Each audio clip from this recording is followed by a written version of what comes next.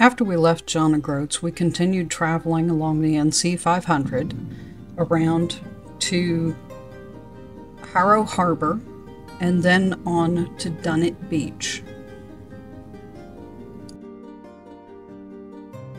One thing I will say for Scotland is they have implemented green technologies a lot more efficiently than we have.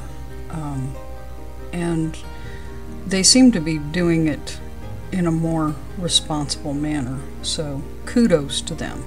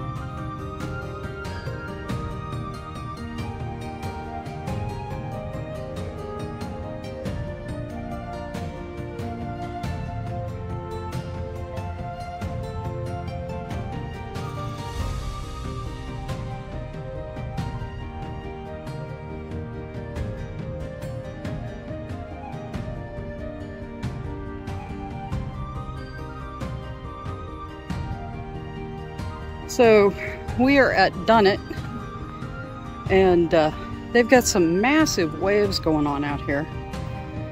We pulled into a car park that was teaching surfing lessons. And there are people out in the water. It's 9 degrees Celsius, which is about 42. And they're in the water surfing. They are braver souls than I.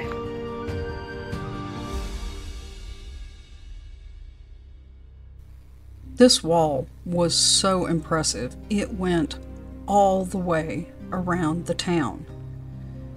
And we were just amazed at the rock work that they did over there.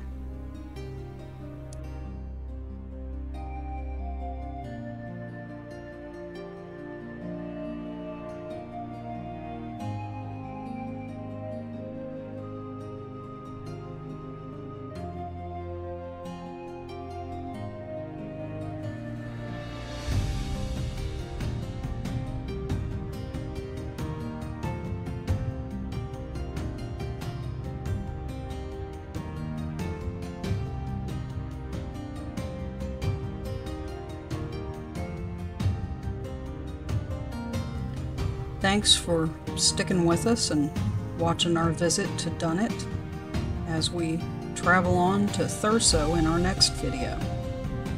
Hope you enjoyed.